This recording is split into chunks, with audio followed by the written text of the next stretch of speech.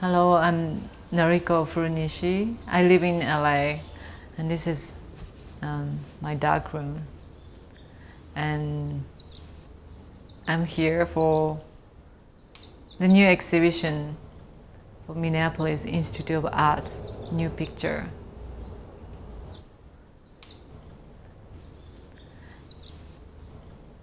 The landscape I face in Southern California is very different from what I know. Because I'm from Japan and I went to New York and it's, um, I never seen that much space before. I was doing a lot of landscape. I mean, that's what um, mainly I did. Like everybody else, I knew I wanted to do, um, I wanted to start doing something slightly different.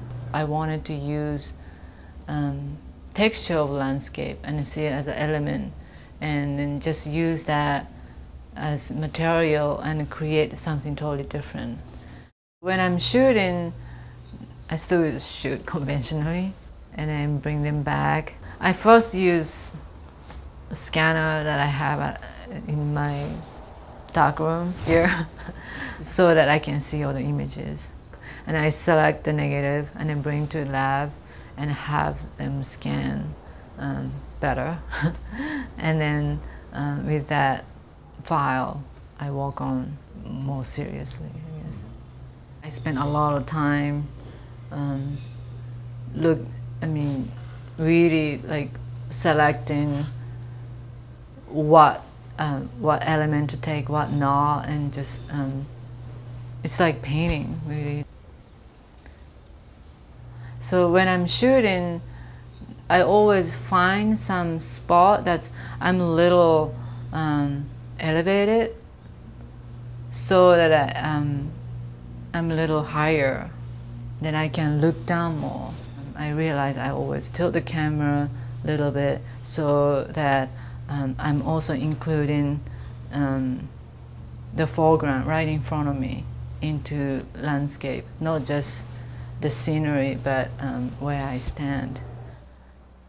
I choose some area where I don't think it's just only 100%, you know, nature or wild. It's always some element of um, human's presence, maybe a small path or maybe you know, people or something that is always um, presence of human being. I tend to use people as a measurement um, because without people you just have no idea how big or small this particular area is. The detail is really important, so it has to be large scale the process of traveling is really important to me as an artist. So I also want to bring that process or idea into the work. So somehow that you're you're observing the place, but you're also experiencing how my image end up don't really exist, but the texture and the place exist.